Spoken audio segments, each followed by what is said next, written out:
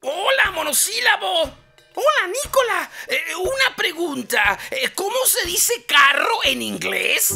Carro se dice car.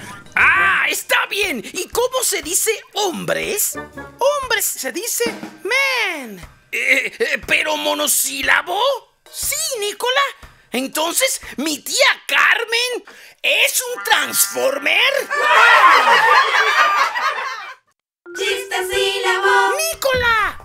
sí, monosílabo. Hay una mosca en mi sopa.